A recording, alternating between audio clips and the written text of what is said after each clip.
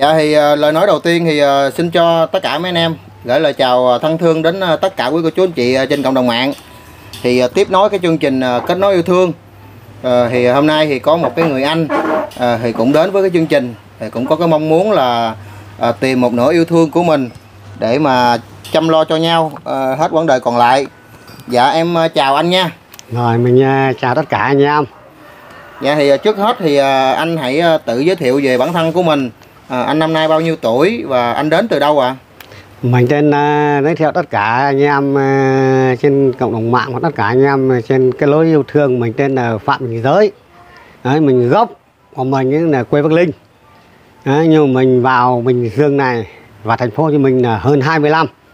Đấy, hiện nay là mình đang định cư tại Bình Dương. Đấy. Dạ.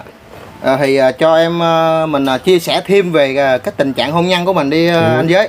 Nếu tình trạng hôn nhân của mình thì chưa một lần nào, À, chưa một lần nào ờ, kết hôn. chưa một lần nào kết hôn. À, Đấy, mà mình à, trước lúc ấy mình còn thanh niên thì mình đã có ờ, chung sống với một người phụ nữ. Là có cho một cháu gái năm nay cháu gái 24 tuổi cháu gái đã đi lấy chồng. Ba năm nay rồi mình về cũng lo toan cho đàng hoàng cho cháu. À có nghĩa là lúc trước thì anh cũng có quen một người Đúng cũng rồi. như là đã có con đúng không và hiện nay cái người đó như thế nào anh? Đấy, người đó thì đã rời mình năm nay là 75 rồi gần À. 75 7 năm rồi ha. gần gọi là gần 75 Dạ, Đấy. gần ờ, gần 7 năm thì rồi. ờ, trong cái thời gian đó thì ờ, cái người con gái của, của anh đó là hiện nay là đã bao được bao nhiêu tuổi rồi? à, cháu năm nay là 24 24 ha. À. Là ở với anh hay là ở với với chị? Đấy, cháu là về ngoài quê cùng với chị Ờ. Đấy, mà mỗi người mỗi quê Đấy, mình là quê Bắc Linh còn chị là quê Thái Bình là hiện nay là chị ấy cũng đã ờ, rời anh ờ, đi rồi. Là hiện nay là anh là chưa một lần nào ờ, kết hôn. Chưa nghĩa là chưa. mình chỉ ở với chị ấy là như là sống thử thôi đấy ha. Đúng rồi. Là cũng có một đứa con gái đó của chú anh chị. Đúng. Thì cho em hỏi thêm á là hiện nay á là cái công việc hiện tại của mình mình làm cái công việc gì anh anh anh với. Mình trước thì mình là làm thầu xây dựng. Nhưng mà bây giờ là mình cũng nghỉ hai năm nay thì không cho thầu xây dựng nữa. Mình ở nhà cho mướn đồ xây dựng. Dạ. Đấy. Có nghĩa là mình cho mướn những cái trang thiết bị ờ, về cái vấn vấn đề xây dựng ha. giáo, cốt pha. dàn giáo cốt pha đâu đấy ha. Đúng rồi. Dạ. Thì ờ, hiện nay là cho em hỏi là ờ, cái thu nhập của mình nó có ổn định không anh giới? Không thì nói chung là cái sang cái năm nay thì nó cũng không phải được như là mấy năm trước. Nên nó là tất cả là toàn bộ cả mọi người chứ không phải một mình mình. Đấy, mình cứ thu nhập cũng rất bình thường là cứ gọi là trừ chi phí rồi tất cả các thứ ấy dạ. Đấy, chịu khó nếu mình mà có sức khỏe mình chở đồ mình không phải thuê xe không phải thuê người chở nữa thì cũng được ừ, ngoài 10 triệu dạ Đấy. thì ờ, hiện nay đó là ờ, mình đã từ ở ngoài Bắc Ninh mình vào đây thì cũng hơn 20 năm rồi đúng rồi đúng thì rồi chắc hẳn là ờ, ở trong đây thì chắc hẳn là mình cũng có nhà cửa rồi ha À, đúng rồi, mình giới thiệu với tất cả anh em, tất cả cộng đồng mạng. Đấy, mình đã lên đây thì hầu như ai cũng biết là mình có một căn nhà và một số vốn nhỏ nhỏ là gửi anh con bác ruột và em ruột mình để gọi là cái làm đất đai. dạ à, Ừ.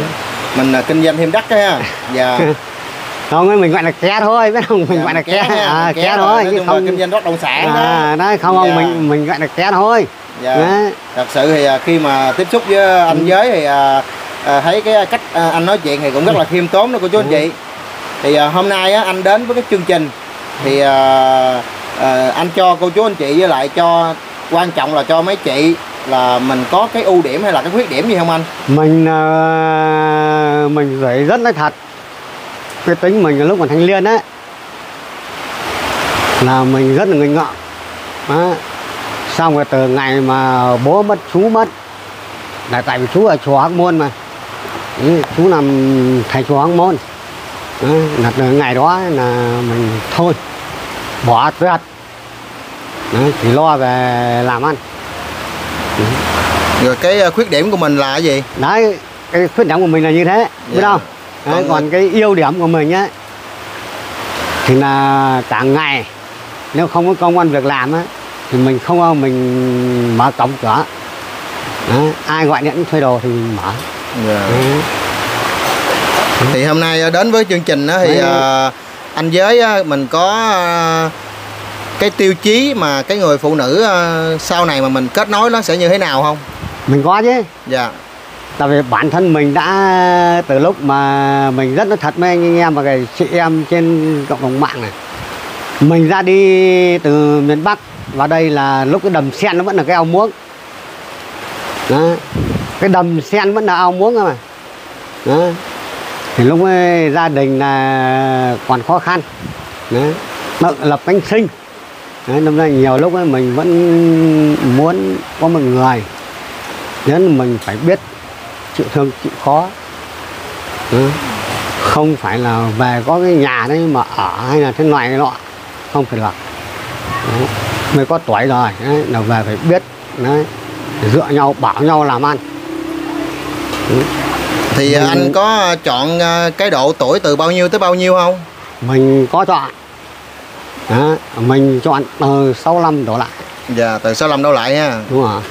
Có nghĩa là anh giới là hôm năm nay là anh 50 tuổi. Đúng chính xác của anh là năm 52 52 ha. À, ba mẹ lúc ấy là đơ lãng mất đi 25 cái tuổi của anh. Dạ dạ. Đó. thì anh 52 thì anh ờ, chọn từ 65 trở lại có nghĩa là 63 thôi 63 thôi. Dạ 63 63 trở lại 65 gọi 63 65 có nghĩa là anh ờ, sẽ chọn những cái người là lớn tuổi hơn mình Đúng rồi. để mà ờ, về để mà biết làm ăn. Đúng rồi đúng rồi dạ. thì ờ, anh có cần cái người phụ nữ đó là về cái dốc dáng ngoại hình như thế nào không. nói chung là cái vóc dáng tại vì bản thân mình mình nói trước nhưng tại mình một cao một mét sáu bảy. Mình cao một mét sáu bảy là mình cũng phải chọn một cái người nó cân đối gần như với mình. Vậy là anh cũng ờ, chọn ờ, một người ờ, từ 1m60 trở lên hay là sao? Đúng rồi sáu mươi tại vì nhà mình độc ai em ruột mình cao mà em dâu mình cao. Dạ À. nói chung là ngoại hình thì ờ, hơi hơi thon thon một tí ha. Đúng rồi đúng rồi. Dạ. Đó. thì mình có cần cái người phụ nữ đó có cần có công ăn việc làm gì hay không hay là như thế nào? Không có thì là cái tốt phải không nếu mà chưa có và mình sẽ tạo điều kiện công an việc làm. Dạ. Đó. là tại vì chỗ nhà mình là khu công nghiệp mà. Dạ. Đó, mà mình quen rất là nhiều. Đó, xin vào làm may. Hay công tư nhân hay này nọ. Hay là bán tạp hóa. Đó. ở nhà Ờ, mình cho em hỏi thêm cái vấn đề nè. Thường thường á thì ờ, em nghe người ta nói á, thường thường là đàn ông mà ở miền ngoài á là thường hay gia trưởng. Thì không biết là anh giới này mình có cái gia trưởng không riêng anh thì với nhà anh thì không ai ra trưởng ờ, ông lội xong đến bà lội xong đến bố mẹ các bác. Rồi đến anh em anh thì không ai ra trưởng dạ thì cái đó điều đó thì chắc hẳn là ờ, nguyên một À. cái dòng tộc nhà anh. Dạ.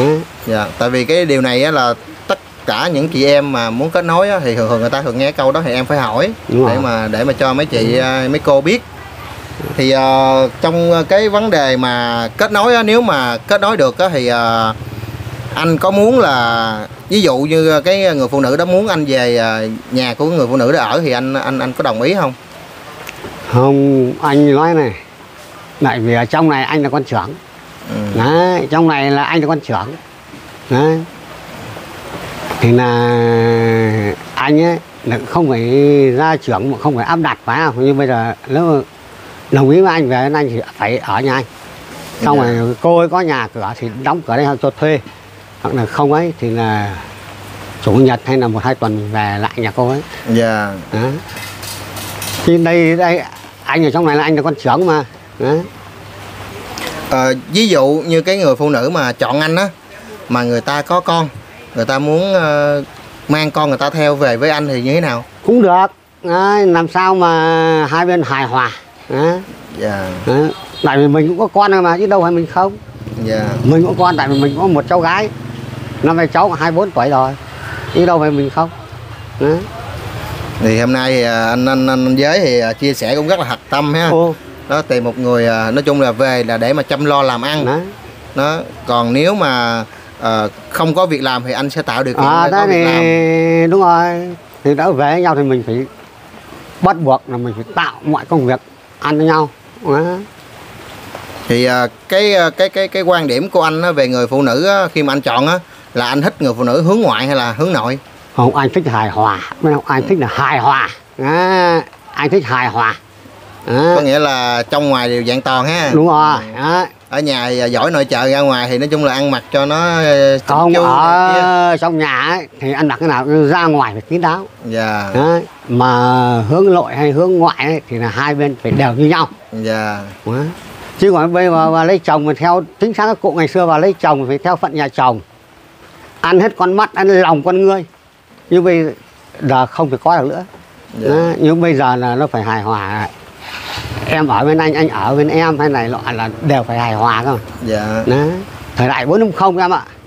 Thì đúng rồi nói chung là Ừ. bây giờ nếu mà à, sống theo cái phong phong kiến ngày xưa thì à, chắc hẳn phụ nữ hiện đại bây giờ chắc không có ai sống được đó. Là thời đại 450 Dạ. mà lại- nói chung là phải là vợ chồng nó phải hòa thuận với nhau bình đẳng với nhau rồi. Nó không có áp đặt là ngày xưa thì à, ờ, người phụ nữ thì lúc nào là cũng phải e dè trước người đàn ông. Nó người Đúng đàn ông thì lúc nào là cũng là cái người trụ cột gia đình rồi còn hiện nay á thì à, nam nữ đều bình đẳng với nhau. Đó. À, anh kiếm tiền được thì tôi cũng kiếm tiền được nên là đừng có ai áp đặt ai hết. Không thể áp đặt áp đặt Dạ. bây giờ nói khó chịu nhau là tự dưng là giãn dạ đúng rồi cái Đấy. vấn đề đó là nó nó nó Đấy, chính xác nói đó. trước là như thế. Thì à, anh đến với chương trình của em á là anh xem qua cái chương trình của em à, được bao lâu rồi? Không cũng phải đến hơn một tháng rồi đấy. Dạ. Đấy thì à, khi mà anh xem cái chương trình của em á thì anh thấy là à, những người mà lên trên kênh của em mà tìm một nửa yêu thương thì anh thấy là những người đó lên như thế nào? Đấy, nói chung là có gọi là rất anh là một người đàn ông rất đích thực mà anh dám nói. Anh vẫn là mong tất cả mọi người là bình đẳng đừng ai đòi hỏi quá cái độ tuổi mình bao nhiêu rồi. Dạ. Đấy. kinh tế của mình như nào thì mình mới dám đòi hỏi như thế còn không thì mình chỉ tìm lấy một cái chút tình cảm dạ. Thì à, cho em hỏi là khi mà anh à, xem kênh của em thì anh có để ý được cái chị nào trên kênh em chưa? Không anh có. Anh có ha? Anh có. Dạ anh có thể là nói tên cái chị đó không không anh rất là thật là chị lắm. À cái chị lắm ở à, quảng nam à, đúng rồi đúng rồi. À, chị lắm là quê Là- gốc ở quảng nam là chị ấy vượt à, 700 cây số vào sài gòn tìm việc làm. À, cũng có hai đứa con. Dạ thì chị ấy cũng đã lên chương trình Ừ. của bên kênh của mấy anh em thì cũng cách đây cũng vài ngày. đúng rồi đúng rồi. Đó thì ờ, thật sự thì là cũng có rất là nhiều những anh ở ngoài quê cũng có nè. Rồi những anh ở ờ, miền Tây cũng có đã liên hệ với kệ mà với chương trình là kết nối với chị lắm. Nhưng mà à, mấy anh em kêu đến để mà ghi hình để mà kết nối á thì không có ai dám lên. không ai dám lên Đó, thì hôm nay thì cũng có ờ, anh giới đây thì cũng đã cảm mến chị lắm. Đó đã ờ, cũng mạnh dạng lên chương trình thì cũng nói là cũng cảm mến chị lắm. Thì ờ, thông qua cái vi- video này thì nếu mà chị lắm mà xem thì ờ, nãy giờ thì anh giới cũng đã nói những cái lời của mình ờ, những cái tiêu chí như vậy. Ờ, nếu mà chị lắm mà có cảm mến anh giới thì có thể là liên hệ với mấy anh em để mà cho hai người có thể là gặp nhau rồi mình ờ, trò chuyện với nhau để mà hiểu rõ nhiều hơn để mà có thể là ờ, kết nối với nhau để mà sau này mình tìm hiểu cho nó kỹ hơn để mà mình đến với nhau. Đó. Đúng rồi. Thì à, hôm nay là à, anh lắm cũng như là đến với chương trình của mấy anh em á, là cũng mong muốn là tìm được một nửa yêu thương. Thì trước mắt thì là anh ấy cảm mến là chị lắm thì mong là chị lắm sẽ xem được cái video này. Thì chắc chắn là xong cái à, chương trình này thì em sẽ gửi cái à, cái clip này cho chị lắm xem và sẽ à, coi cái ý của chị lắm như thế nào. Rồi sau đó em sẽ cho anh hay.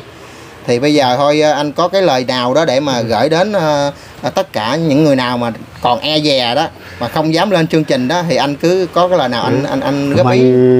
cũng có dám nói tất cả là với tất cả anh chị em. Đấy.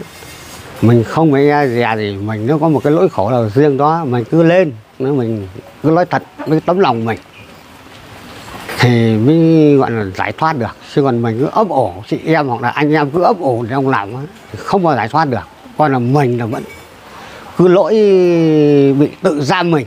Dạ. Đấy, tự giam mình cái lương tâm vào trong mình.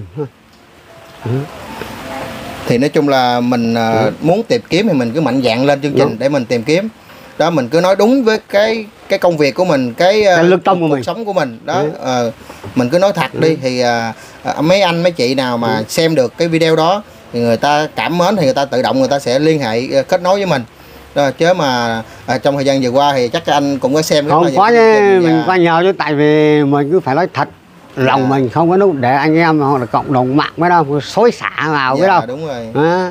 nó không khác gì gọi là nga với ukraine bây giờ đó. nên mình Dạ. mong tất cả anh chị em là phải hết sức trước khi nói một câu nói gì ở trên cộng đồng mạng là mình phải nói hết sức thật thà dạ ừ. không được dối trá dạ rồi à, hôm nay thì à, em à, cũng cảm ơn anh giới cũng như đã vượt một đoạn đường cũng khá là xa đến với chương trình của tụi em Ừ. thì cũng mong tìm được một nửa yêu thương và hiện nay thì anh giới cũng đã cảm mến được à, chị lắm. Đó chị lắm thì cũng à, quê gốc ở cũng quảng nam thì anh ấy là cũng ở ngoài bắc ninh. Đó. Ờ, xem như thế nào khi mà à, hai người à, xem video của nhau thì sẽ như thế nào? Cô chú chị đợi ở những video tiếp theo của mấy anh em sẽ chia sẻ lên. Thì em cũng chúc cho anh giới này sẽ à, sớm tìm được à, một nửa yêu thương của mình để mà hai người về chung một nhà để mà chăm lo cho cuộc sống cho nhau à, ông chăm bà bà chăm ông để mà à, vui vẻ cái quãng đời còn lại. Đó thì không em cứ nói thẳng này từ cái văn phòng của em phải không dạ Em xuống nhà anh là 17 hoặc là 18 cây thôi dạ Đấy. tại vì cũng thấy chị lắm chị bảo chị ở bên Bình Thạnh dạ Đấy. Rồi thì à, em cũng à, cảm ơn anh đã đến với chương trình ha. Rồi. Và một lần nữa thì em cũng à, xin thông báo là cô chú anh chị mình ai đang cần tìm một nửa yêu thương thì cứ mạnh dạn lấy điện thoại ra liên hệ với anh em. À, thì cái văn phòng của mấy anh em nằm ở ngay đường TL41 đường Hà Quy Giáp, phường Thạnh Lộc, quận 12. Thì à, số điện thoại thì mấy anh em có để ở trên màn hình đó cô chú anh chị mình ờ, cứ mạnh dạng liên hệ đi. Thì mà khi mà đến với chương trình thì là à, mình chỉ cần chứng minh được là mình độc thân thôi đó cô chú anh chị thì đến đây thì mấy anh em sẽ ghi hình miễn phí của chú anh chị mà thì mấy anh chị cứ mạnh dạn đến với chương trình ha. Còn bây giờ thì à, à, em xin mến chào tạm biệt và hẹn gặp lại cô chú Nha, ở video tiếp theo. chào tất cả